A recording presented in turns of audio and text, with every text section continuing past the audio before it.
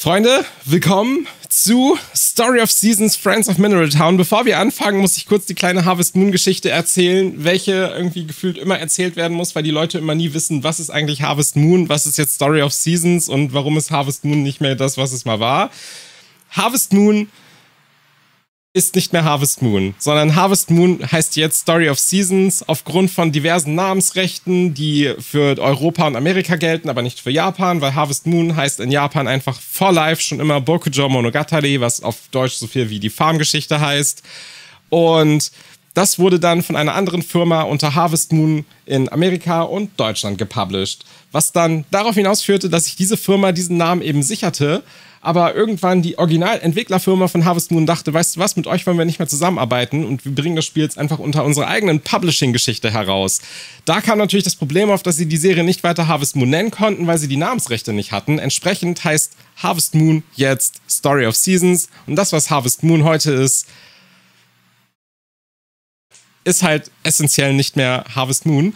Und im Grunde genommen ist das jetzt das Remake des 3DS, äh, nee, nicht des 3DS, des Game Boy Advance Spiels. Und ich bin sehr gespannt, was mich jetzt hier erwartet, weil ich von sehr, sehr vielen Leuten schon gehört habe, dass das hier die beste Experience an Harvest Moon sein soll, die man bekommen kann. Daher würde ich einfach sagen, wir machen die Geschichte einfach mal an und schmeißen uns ein bisschen in Harvest Moon, Friends of Mineral Town. Ich hoffe, ich habe den Anfang jetzt einigermaßen, ähm, einigermaßen hinbekommen.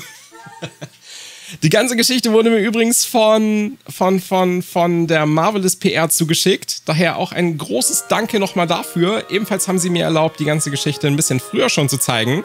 Das heißt, ich kann euch unglaublich viel Gameplay der ganzen Geschichte zeigen, schon bevor es rauskommt. Und die ganze Geschichte released am 10. Juli, glaube ich, für Switch und PC. Ich habe hier die Switch-Version und ähm, ja, würde einfach sagen, Gott, die Polizei kommt schon, ich darf das doch gar nicht zeigen. Ups. Ähm, auf jeden Fall, beinahe hätten sie mich, aber noch, noch ist nicht der Tag. Ähm, würde ich sagen, wir fangen einfach mal an. Und starten mit einem neuen Spiel. Ich glaube, ich möchte den Default Jung haben. Ach, so ein bisschen gebräunt geht schon, wenn ich mich so angucke. Ich glaube, so ein bisschen Farbe kann ich mir ruhig geben. Yes. Mein Name ist, für alle, die mich nicht kennen,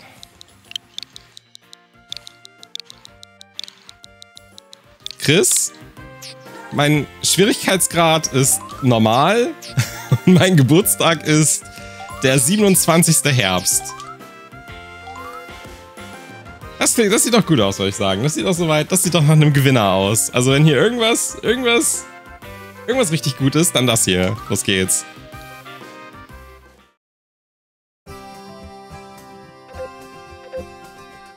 Eines Tages lag ein besonderer Brief in meinem Briefkasten. Er kam von einem Mann, der sich als Bürgermeister einer kleinen Stadt vorstellte. Nachdem ich den Brief gelesen hatte, habe ich meine Sachen gepackt und mich auf den Weg zum Bahnhof gemacht. Und meine Fahrkarte nach Mineralstadt gekauft, der Ort, an dem mein Großvater seine Farm hatte.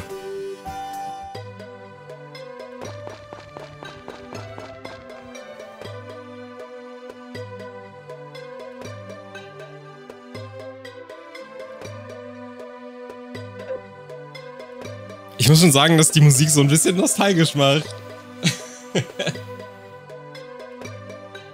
also trotz der Tatsache, dass äh, wahrscheinlich relativ viele mein Harvest Moon Video gesehen haben, ähm, muss ich halt leider auch outen und sagen, dass ich Harvest Moon gar nicht so krass gespielt habe. Also ich habe halt die die Game Boy Color Version damals ohne Ende gespielt, also halt richtig richtig lange.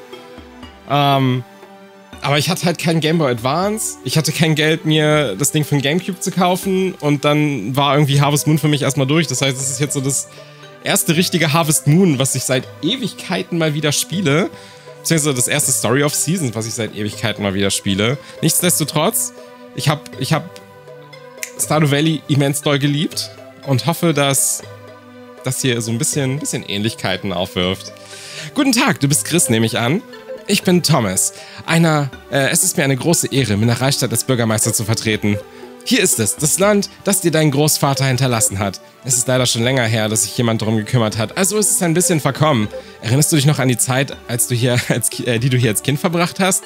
Du hast einen Sommer deinen Großvater hier besucht. Es tut mir leid, Chris. Wir mussten unseren Familienurlaub für diesen Sommer absagen. Ich konnte mir nicht dafür freinehmen. Es gibt etwas sehr Wichtiges, das ich auf der Arbeit machen muss. Deshalb kann ich nicht weg. Es tut mir so leid. Aber du musst dieses Jahr auf eine Urlaubsreise verzichten. Ich habe einfach zu viel zu tun. Ich werde es wieder gut machen. Versprochen. Es tut mir wirklich leid, Chris, aber bitte hab Verständnis. Wir machen zwar keinen Familienurlaub, aber wir haben deinen Großvater gefragt, ob du diesen Sommer mit ihm verbringen darfst. Seine Farm ist wundervoll.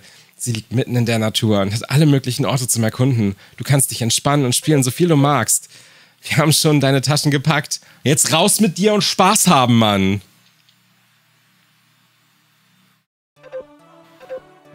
Oh, da bist du ja, Chris. Erinnerst du dich an mich? Ich bin dein Opa. Apropos Opa, oh mein Gott, ich habe einfach heute ein graues Bar Barthaar gefunden. Barhaar. Ein graues Barthaar, Mann.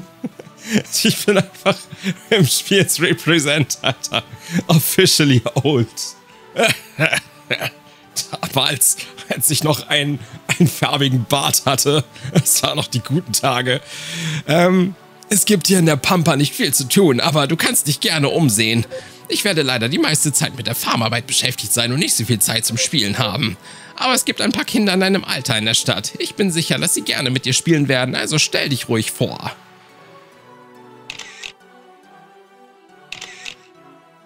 Oh, er ist an der Kuh gefallen.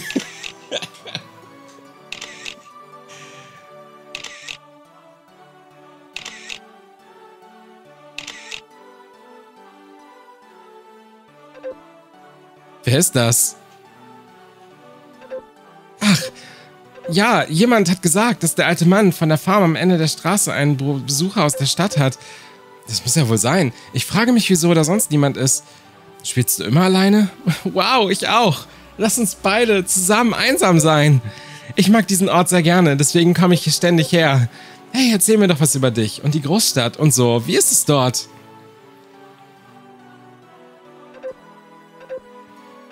Wenn du nach Hause gehst, grüß deine Eltern lieb von mir und sag ihnen, dass ich dich gerne hier zu Besuch hatte. Oh, du gehst schon? Oh, ich werde dich vermissen. Du wirst eines Tages aber zurückkommen, oder? Ich werde für immer auf dich warten und für immer Single bleiben, bis du wieder hier bist. Forever in Love. Das ist schon 20 Jahre her. Wie ich sehe, bist du zu einem verantwortungsbewussten Erwachsenen herangewachsen. das ist eine Anmutung, Alter. Also eine, eine Anmaßung, eine Vermutung, keine Ahnung, ist auf jeden Fall nicht reell. Dein Großvater hat diese kleine Farm sehr geliebt, weißt du? Er wäre sicher froh gewesen, dass du sie geerbt hast. Also was sagst du? Willst du dem Farmleben eine Chance geben? Nein. Ich verstehe. Das ist also ganz deine Entscheidung. Ich möchte dich nicht umstimmen, aber es ist trotzdem schade. Der nächste Zug sollte wohl bald kommen. Falls du abreisen möchtest. Also, falls du abreisen möchtest. Auf Wiedersehen, Chris.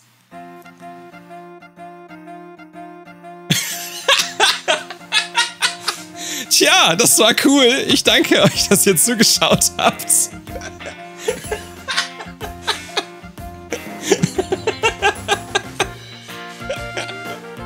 Hatte selten so viel Spaß bei einem Spiel. Und es, es war wundervoll. Ich finde, es war das Geld voll wert. So viele, so viele Stunden an Spielspaß hatte ich selten in einem Spiel. Kauft es euch. 10.7. kommt es raus. Okay, warte. Lass uns das nochmal richtig machen. es hat schon gewonnen eigentlich. Spiele, die sowas machen, die können nur gut werden. Also, ähm, ja. Ausgezeichnet, ausgezeichnet. Erlaube mir, dich zuerst als neuen Bewohner von Mineralstadt willkommen zu heißen. Also dann, da du der neue Besitzer der Farm bist, denkst du nicht, dass ein neuer Name angebracht ist? Wähle einen Namen. Wie sollen wir die Farm nennen? Hauen sie raus mit den, mit den Namensvorschlägen. Ansonsten nenne ich sie einfach wieder Lon Lon Farm. Weil das ist so, so ein schöner Basic-Name einfach. Das ist halt. Das geht immer. So ein bisschen Zelda-Referenz. Hat auch keiner gegen was gesagt. Gatopia, Long Schlong. Lon Lon ist toll. Lon Lon? Zu Hause. Lon Lon geht einfach, okay, alle sagen Lon Lon. Einstimmig Lon Lon. Lon Lon Farm, ha? Huh? Ja, das klingt schön. Eine Farm zu betreiben ist nicht der einfachste Job auf der Welt, aber wenn du dir Mühe gibst, machst du deinen Großvater bestimmt stolz. Also, du bist bestimmt müde von deiner Anreise. Wieso machst du dir nicht für den Rest des Tages, äh, ruhst du dich, wieso machst du dich nicht einfach aus? Oh Gott. Ich muss jetzt meine Pflichten als Bürgermeister nachkommen. ich wünsche dir einen schönen Abend. Morgen beginnt mein neues Leben als Farmer. Ich bin schon ganz aufgeregt. Uh. Also es sieht auf jeden Fall cute aus. Grafisch jetzt nicht ultra geil. Wir laufen auch auf so einem, auf so einem Achteck hin und her, was ich auch finde ich okay, kann man machen. Liege ich richtig in der Annahme, dass du noch nie auf einer Farm gearbeitet hast? Ich würde dir gerne einen Rat geben. Mit Bestätigen kannst du mit der Person vor dir reden und Objekte in der Nähe aufheben. Mit Werkzeug kannst du einen Gegenstand nutzen, nachdem du ihn ausgerüstet hast. Und wenn du einkaufen möchtest, stell dich an die Theke im, im, im Laden und rede mit dem Ladenbesitzer. Aber wenn der Laden geschlossen ist, kannst du zwar mit dem Ladenbesitzer sprechen, aber du kannst nichts kaufen. Es gibt auch noch andere Funktionen. Möchtest du, dass ich dir erkläre? Nein. Bist du sicher? Du musst nicht schüchtern sein. Na gut, wenn du darauf bestehst. Wenn du eine Frage hast, findest du auch zu Hause in deinem Bücherregal Antworten. Das ist schließlich deine Farm. Du kannst damit machen, was du möchtest. Aber ich würde dir raten, zuerst ein bisschen Geld zu verdienen, um dir das Leben zu erleichtern. Es gibt zum Beispiel viele Dinge, die du im Wald sammeln und für etwas verkaufen kannst. Und wenn du deine Arbeit für den Tag erledigt hast, solltest du dir, solltest du durch die Stadt spazieren, die Bewohner kennenlernen. Wenn du der Straße vor deiner Farm nach rechts folgst, wirst du auf deine Nachbarn stoßen. Sie plaudern sicher gerne mit dir und geben dir Ratschläge. Ach ja, eine Sache noch. Schau in deinen Werkzeugkasten, wenn du nach Hause kommst. Darin wirst du ein kleines Geschenk finden. Es ist nur mein alter Schrittzähler, aber ich denke, du kannst ihn gebrauchen. Mineralstadt ist immerhin ein großer Ort. Es könnte dich interessieren, wie viele Schritte du machst. Also dann, das soll für heute reichen. Ich komme bald wieder vorbei, um dich dir zu sehen. Viel Glück!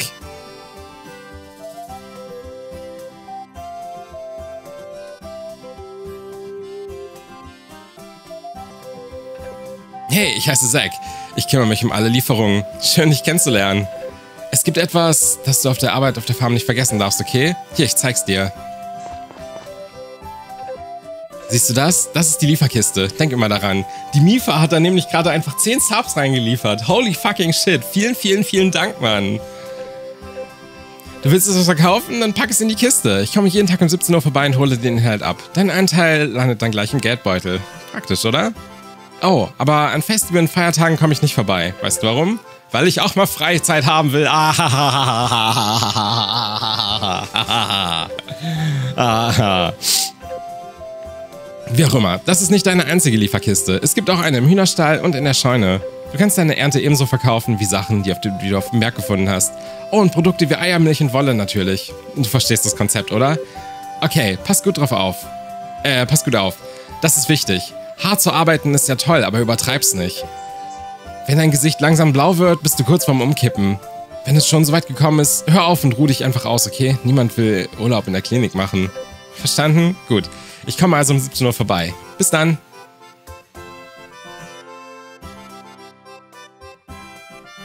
Und schon können wir anfangen? Damn, okay. Ist ja gar keine, gar keine 13 Stunden Einführkurs, wie dieses Spiel funktioniert, sondern einfach, keine Ahnung, eine Viertelstunde und los geht's. So, das ist ja ultra krass, Mann. Damn, okay. Ja, cool. Dann, was, wir können hier rüberhüpfen? Ging das schon immer? Features, Mann. Features. So, ich soll in... Ich soll irgendwo nachgucken. Wahrscheinlich hier, ne? Genau. Wir werden wahrscheinlich erstmal das hier brauchen. Das hier, das hier und das hier. Nein, das eigentlich noch gar nicht. Wir können auch nur vier haben ne, bisher, ne? Ah, okay. Aber das können wir noch mitnehmen. Wir müssen erstmal eh ein bisschen Feld frei machen, von daher passt das eigentlich schon. Oder wir können es einfach einsammeln, das geht natürlich auch. es spielt sich flott, das mag ich gerne. Halt, was, was mir in so einem Farmspiel mittlerweile echt wichtig ist, ist, dass es sich flott spielt. Halt, ich bin so von Stardew Valley einfach, ähm, verwöhnt, dass ich es echt wichtig finde, dass so ein Ding sich einfach so richtig, das muss so flick, flack, fluck, flop, flott von der Hand gehen. Und das hier geht gerade ziemlich flott von der Hand. Das finde ich super.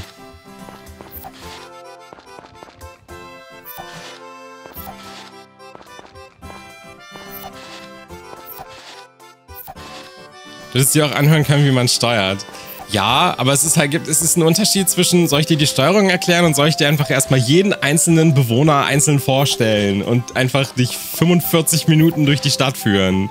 Was halt die ähm, neueren Story of Seasons Teile einfach echt gerne machen. Die sind dann halt einfach so, hey, es ist dein erster Tag. Komm, ich zeig dir erstmal die Stadt. Und dann musst du erstmal mit allen reden. Und das hat mich echt abgeturnt damals, als ich das zum ersten Mal gespielt habe. Aber das hier finde ich eigentlich ganz cute. So, das mag ich gerade ganz gerne. Ich mag es, dass es halt einfach instant losgeht hier. So, und holy shit, irgendwie rasten gerade alle aus, Mann. Mushroom Fridge, 34 Monate Sub. Radiant Squid, 55 Monate. Lailania, 18 Monate, holy shit, Mann. Ihr seid großartig. Vielen, vielen Dank dafür. Und dann haut Marizzle noch voll viele, voll viele Bits raus. Meine Tasche ist voll, ich habe nicht genug Platz. Oh nein. Aber wir können sie doch bestimmt wegpacken, oder?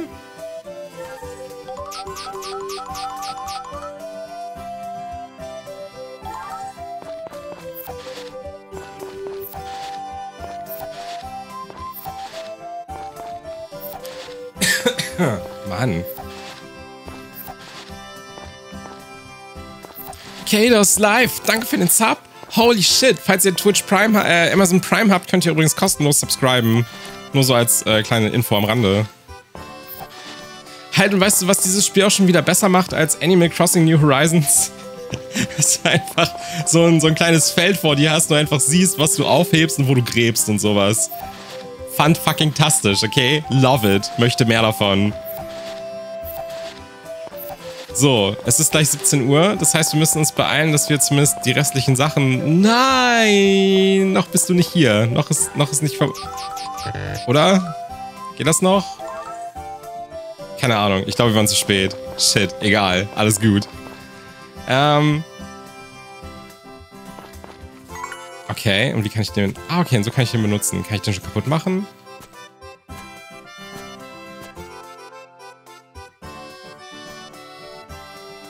Okay, mit dem Hammer Stufe 2. Und das ist dann wahrscheinlich auch mit Axt Stufe 2. Das heißt, alles, was ich hier habe, ist noch gar nicht so wichtig und nutzvoll, nutzsinnig.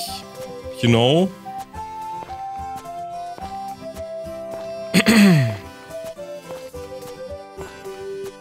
Das, aber, das, ist, das ist cute. Das finde ich süß. Ein Remake vom PSX-Titel sehe ich da. Ich glaube, das, ist, das war der Game Boy Advance-Titel eigentlich.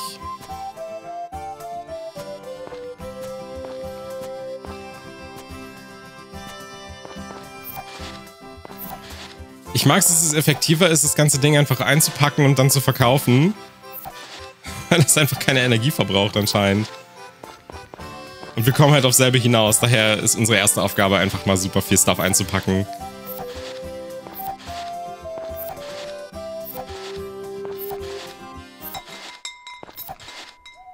GBA ist ein Remake von, PS, von, von, von der PSX. Echt? Das wusste ich nicht. Also ich kenne das Spiel definitiv vom Game Boy Advance, ähm, aber ich wusste nicht, dass das ein PlayStation Remake war.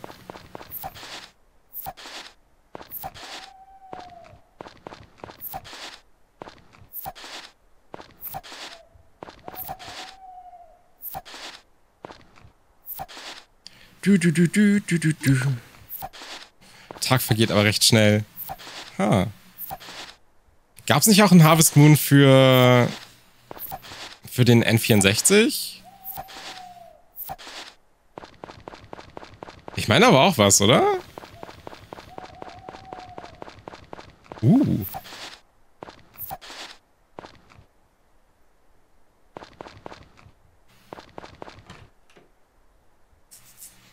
War das für den N64 eigentlich gut? Werkzeugkiste? Habe ich noch irgendwo normales Dings? Tisch. okay. Okay, scheinbar nicht.